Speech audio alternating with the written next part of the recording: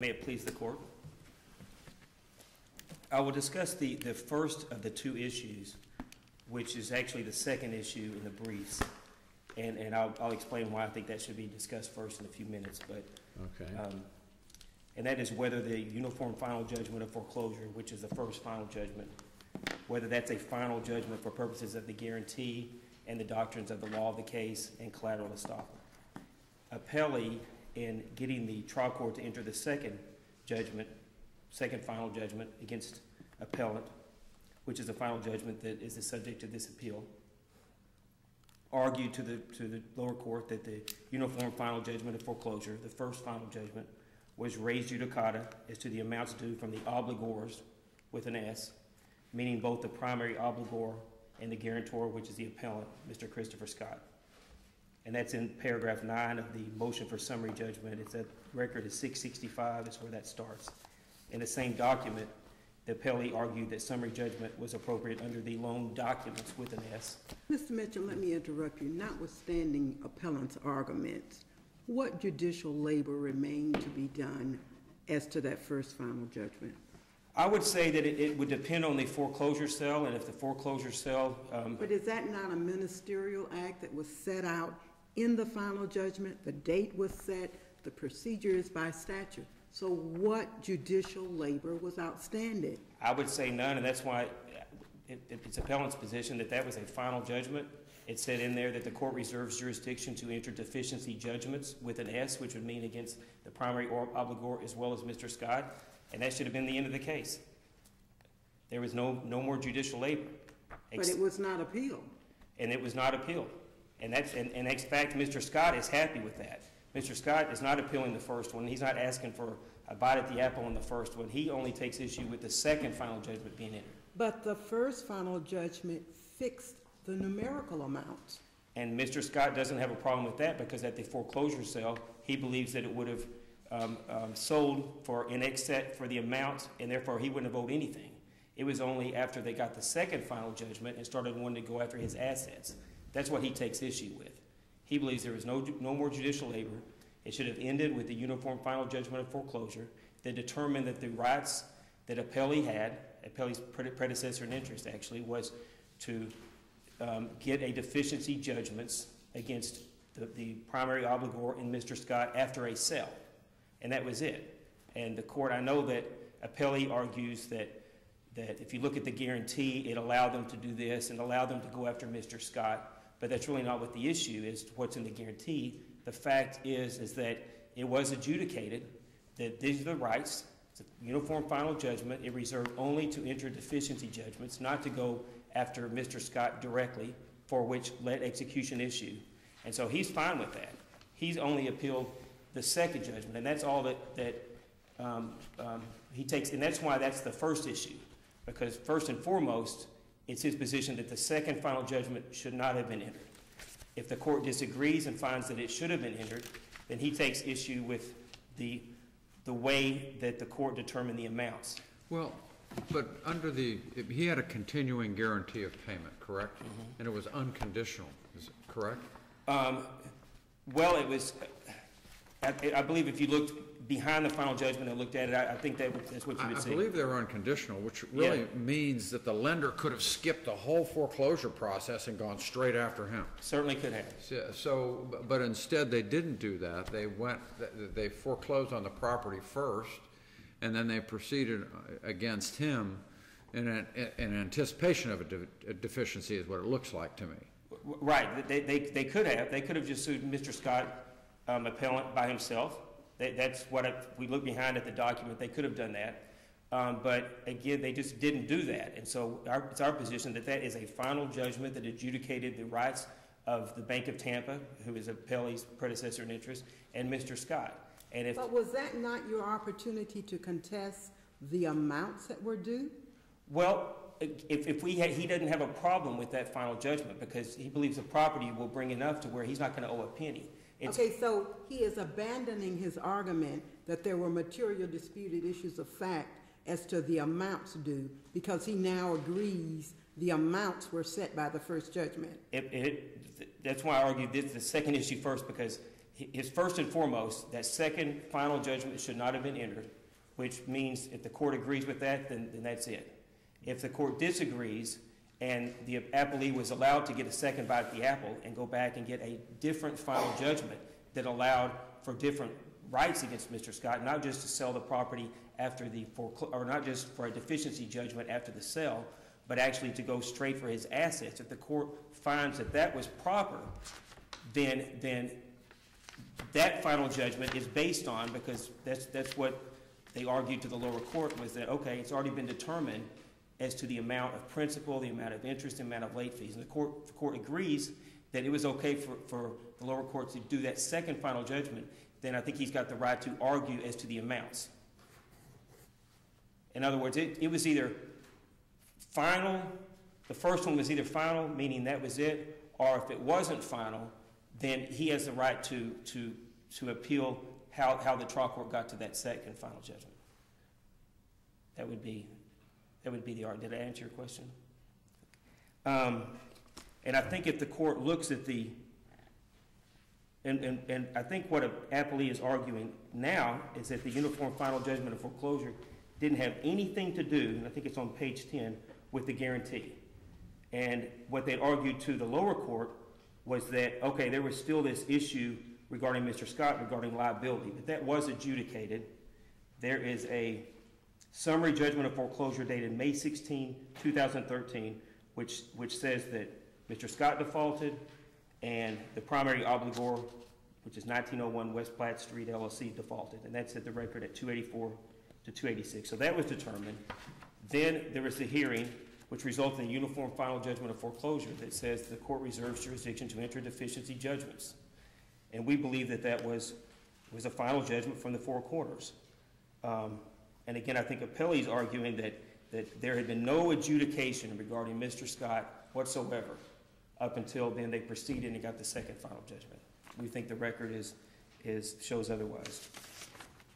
Um, the issue is, is the court disagrees with, with what I've flipped around and made the first argument, that it was okay for the second final judgment to be entered, then we would, I think the first, the preliminary issue there is whether or not a transcript is required to, um, to appeal a summary judgment hearing. And based on the, I think it's Lashkey v. Brown decision of this court, seven sixty-six, Southern Second, ten seventy-six, we, it's our position that it's clear that the summary judgment, the hearing, the transcript of the hearing on the summary judgment motion is not required. I know that Appellee filed a notice of supplemental authority citing a case, it's Jellick v. CitiMortgage out of the third district. And, and it seems to say otherwise. But Jellick didn't overrule two cases that I've cited. It's Seal Products versus Bank National Trust Company, seven oh five Southern Second, nine seventy-three. And Ramiro v. All Claims Insurance Repairs, six ninety-eight Southern Second, six oh five.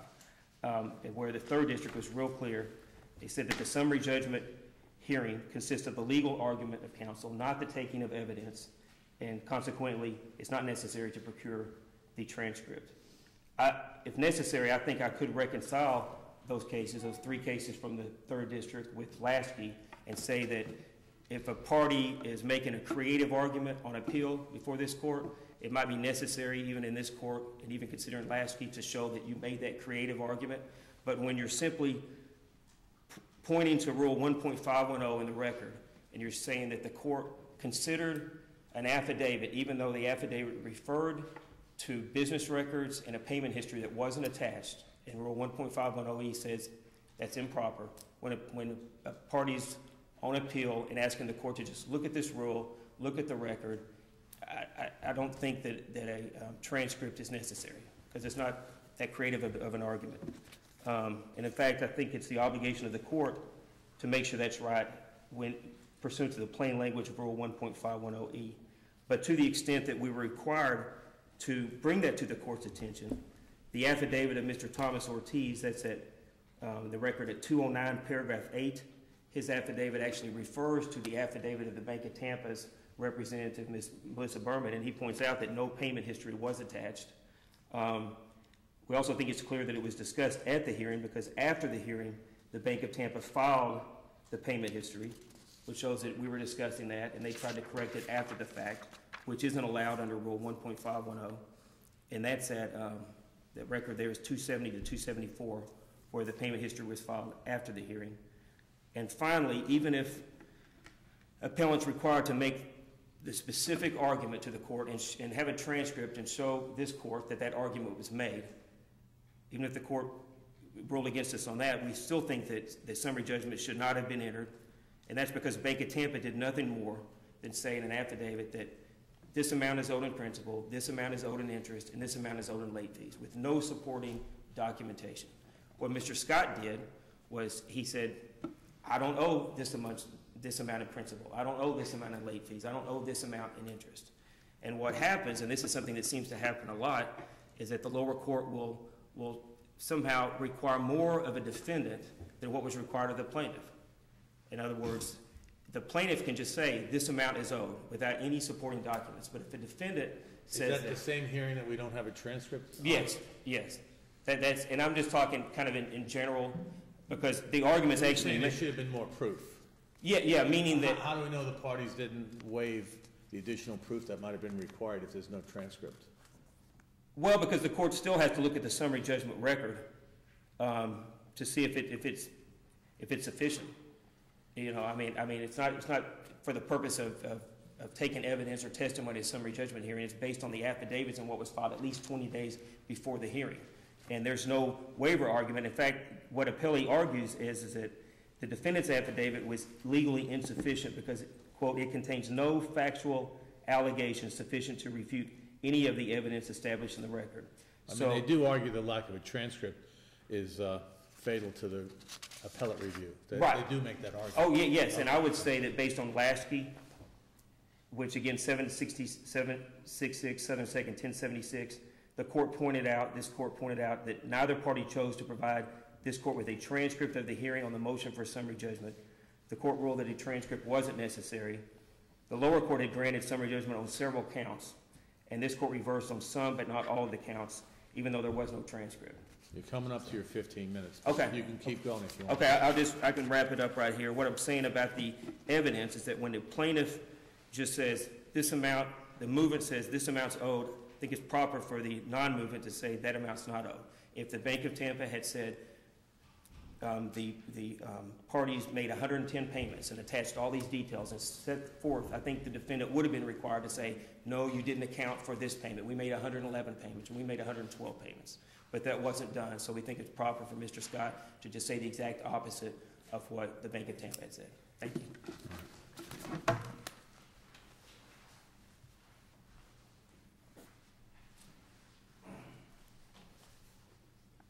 Proceed. May it please the court, John Landcamer for Appellee Palsher, Inc.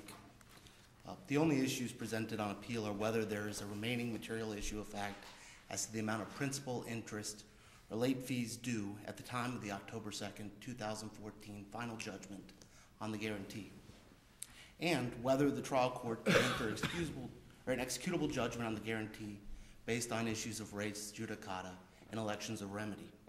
Since 2012, this case has traveled under the same complaint. Three counts, the first for foreclosure of a mortgage, the second for guarantee, and the third for a uh, breach of the promissory note. The uniform final judgment of foreclosure dated April 8, 2014, determined the result with respect to the foreclosure action. It was a uniform final judgment of foreclosure, the same one set up by the 13, in the records of the 13th Judicial Circuit and that has been proposed by the Supreme Court of the state. The appellee admits that the for- uniform foreclosure judgment dated April 8, 2014 constitutes res judicata as to the facts adjudicated therein. The amount due was a fact that was determined in April of 2014.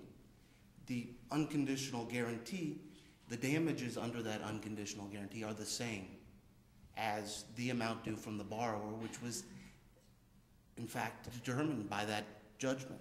That judgment became res judicata, collateral estoppel, um, and the law of the case in this matter.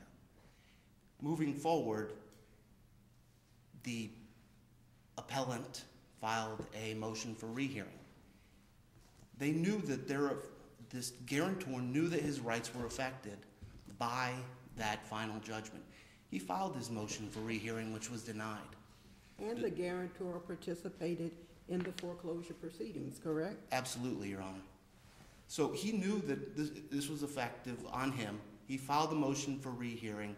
It was denied. No appeal was taken of that April 8, 2014 order, which locked in those amounts. It is inappropriate for them to come back now and say, well, we should be able to re-argue the amounts due because they are in fact res judicata. After the adjudication of the foreclosure judgment, the guarantee count lived on as a separate independent claim, as noted by this court in Florida Lifestyles Realty Inc. in Goodwin, 917 Southern 2nd, 1060. Uh, a final order may issue with respect to a single count of a multi-count complaint if that count constitutes a separate and distinct cause of action, not interdependent with the pled claims. Florida law clearly permits litigants to simultaneously seek an equitable judgment of foreclosure and a legal judgment against the borrower as well as guarantors because such actions are not inconsistent remedies.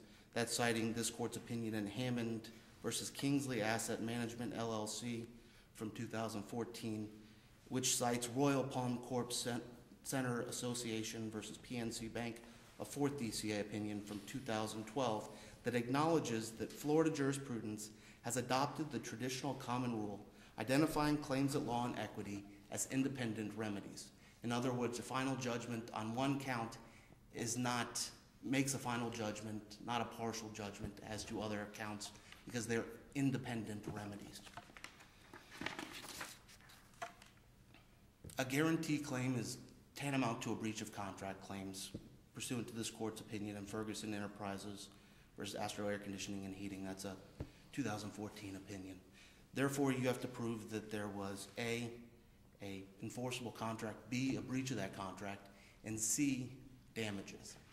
What's being argued by the appellee is that one element of those three elements was determined at the time of the April 8th, 2014 judgment.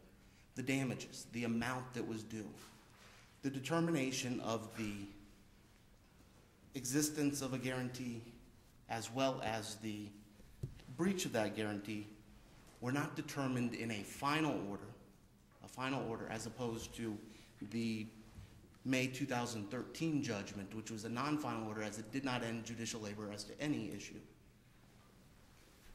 Until a final order of, against the summary judgment on the guarantee dated October 2nd, 2014, which is the only order that, which is before this court on appeal. The adjudication of principal interest and fees in the uniform final judgment of foreclosure dated April 8th, as I stated before, became the law of the case in res judicata. That's under this court's opinion in Ronton versus Washpole Inc., 456 Southern Second, 967, which provides that the law of the case doctrine precludes litigation of all issues necessarily ruled upon by the court, as well as all issues upon which appeal could have been taken, but which were not appealed. In this case, the damages issue in the foreclosure judgment, the amount due, was an issue that was necessary to the determination of the foreclosure. Therefore, that issue is the law of the case with respect to all other portions of the case, including the amount due under the damages provision in the guarantee. I did not initially find, but uh, the appellant found a case from the third DCA, Uterback versus Starkey, which extends the res judicata principle into um, orders within the same case, as long as there is a final order that precedes them. So any final order within a case is final determination, and res judicata as to subsequent orders. Um,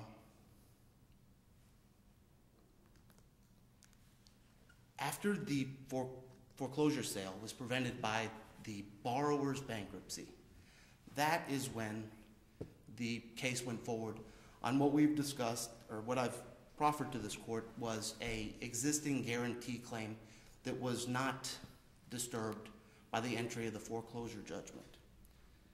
Historically, a creditor on a promissory note secured by a mortgage could pursue its legal and equitable rights simultaneously, as the pursuit of one was without satisfaction was not the bar to the other.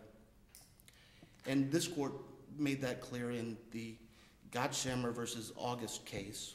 Um, in that case, the guarantee judgment entered first. So there was a guarantee judgment in place, a final guarantee judgment. That judgment was entered first because the borrower, in the middle of the case, as opposed to post-judgment, had filed bankruptcy. After the bankruptcy was resolved, the lender came back to the court and asked for a judgment of foreclosure. The court determined that it was appropriate, even though there was a final judgment as to the guarantee, to enter into a subsequent final judgment as to foreclosure. Gottshammer cites the Klondike Inc. versus Blair, which is a fourth DCA opinion. In Klondike, the party seeking the foreclosure judgment did not request the relief for over a year after the entry of judgment on the note. So there was a passage of a year. The idea is if I can't get paid under the foreclosure judgment, then I get to move on to the legal rights. Which, which really is just an option on behalf of your client, because your client could skip the forejud- foreclosure judgment altogether and move forward full force to be fully satisfied on the guarantee, correct? Yes, well, initially there was a foreclosure judgment. There was a bankruptcy that precluded a sale, which my client then decided to go forward under its rights under the I guarantee. understand, Yeah, yeah, I understand. The um, defendant identifies the fact that the uniform final judgment of foreclosure states deficiency judgments with plural as opposed to judgment and draws the inference that the use of plural versus a singular indicated that the trial court meant for that order to be to determine the rights against the guarantor. That, that's just not correct because the uniform judgment itself, the form, provides for deficiency judgments. So no inference can be drawn from a form that I mean, everybody is it- uses. Are you saying it's a typographical error, or it's not an error at all? It's not an error at all. It was, it's the form. The form says deficiency judgments. Practitioners in the area of foreclosure are asked to use the form, uniform final judgment of foreclosure. And clarification wasn't sought to find out one way or the other what the court meant. No, Your Honor. Well, I mean, it's kind of obvious, but you're obviously not going to be able to collect twice. Absolutely, Your Honor, and that's my exact next point. Under this court's opinion in Hammond versus Kingsley Asset Management, the court, this court's identified the PNC um, case out of the fourth DCA and said, well, the PNC judgment from 2012 said we can, a, a judgment creditor can enter simultaneously a judgment on the note, saying that the note balance is due, as well as simultaneously a judgment on the mortgage foreclosure. Moving forward, the Hammond versus Kingsley Asset Management case that's true. However, there cannot be a risk of double collection. So you can't have double collection. In this case, and that, that was an expansion of rights to say you could do it simultaneously as opposed to separately. You go under one remedy, and if you can't collect under that remedy, come back. The PNC and the Hammond determinations say, no, in fact, you can do it once. It's convenient. You only have one final judgment. It can be appealed. You don't have a successive interplay with the trial court and the appellate court.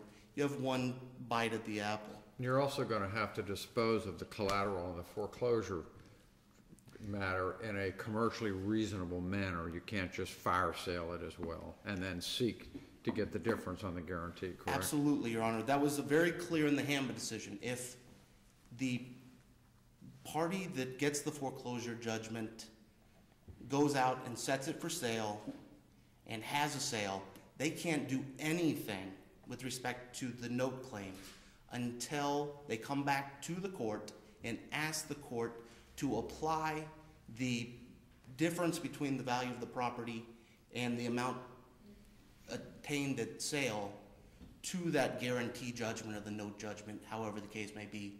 And then the note judgment would then be collectible for the balance. very similarly to a deficiency balance. You're getting down to your five or six minute mark. Thank you, Your Honor. Um, The, I, I just want to point out a few points that were made by the um, appellant. First off, the outstanding reservation of a deficiency is not affecting, does not affect a, the finality of a judgment. There's the Provident National Bank case versus Thunderbird Associates, 364 Southern Second, 790. This was first brought up in the reply brief, but in that case, it was clear that there was a final foreclosure judgment and subsequently a final deficiency judgment. The reason is because of the, when there's a mortgage foreclosure, there is a merger of the mor, of the mortgage into the mor- foreclosure judgment. So when you come back for a deficiency, you're actually coming back based on the judgment. And you can't have a deficiency until there is a sale of the property. So that, that argument doesn't really make sense. Um, The arguments, I, I don't think it's necessary to argue whether the record demonstrates an error of the trial court um, with respect to there being a transcript in the record, because all of that stuff was res judicata in the April 8, 2014 judgment. However, there was some issues made with respect to the Latchkey versus Brown opinion. That was very different facts than this case. In that case, the court noted that it was a very complex case and that there were eight different uh, bases for motion for final judgment, summary judgment, and no one ground was dispositive of the entire case. With respect to the claim that the third DCA's case, Seal Products versus Mansfield, was in somehow um, dispositive or overturned the Zarate opinion from the third DCA. Uh, I'd first like to point out that the Zarate opinion postdates the Seal Products case.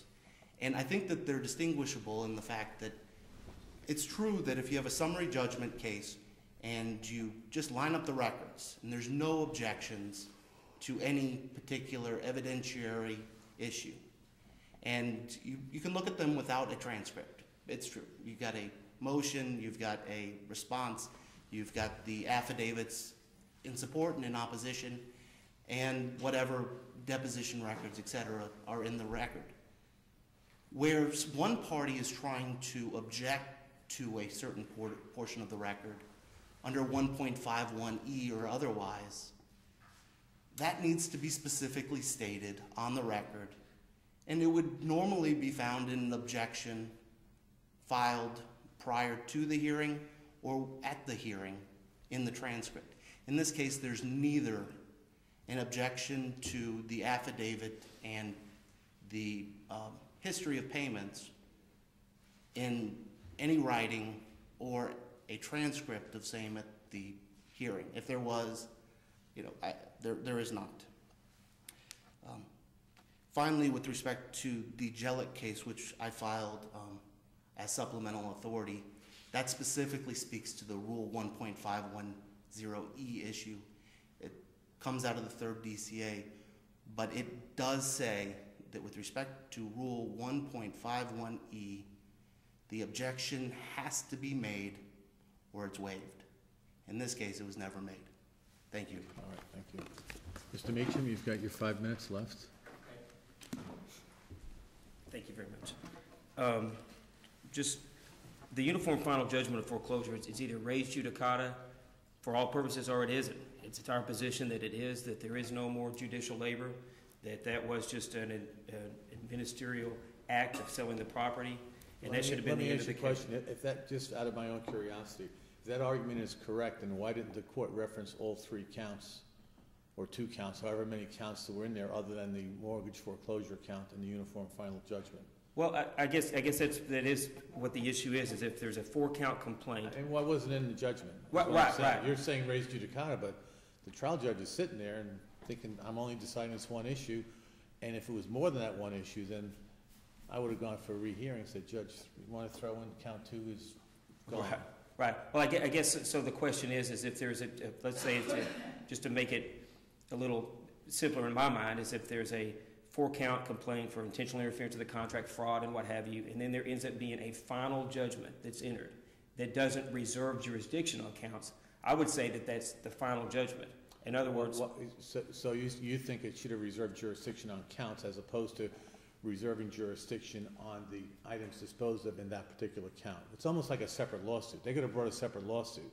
They didn't have to combine it, but they saved filing fees, I'm assuming is one Right. of the reasons. Right. And so, so I would say that, that without the reservation of jurisdiction on account two or anything, when you've got a final judgment that doesn't reserve on a specific count, they've been dealt with. And if the party who is unhappy with that doesn't appeal it, that, so it would be, my- So you think that's a legal requirement that must be in that final judgment? As opposed to at this on-transcribed hearing, the parties say, hey, we've got these other counts, let's just leave them over here for now, we'll come back and do that, and the judge doesn't put anything in writing. How would we know that didn't happen? well, well, I would say that, that I know that, that it has to be real clear for there to even be a right to appeal. Sometimes a final judgment will say it's a final judgment, but the- this court or the clerk will look at it and say it's really not because it says specifically in there Right. that the court reserves jurisdiction for these other counts. So when it is just a final judgment on its face without looking, I think for appellate purposes, it's the final judgment. And, it- and if it doesn't reserve jurisdiction on account two or something else, then, um, Okay. you know, and so that would be my argument. There's no dispute that, that Bank of Tampa could have done this differently, but they filed, they sued Mr. Scott and the primary obligor at the same time. They got summary judgment that says they're both in default. Then they got a final judgment that didn't reserve jurisdiction on, on account. Um, and, and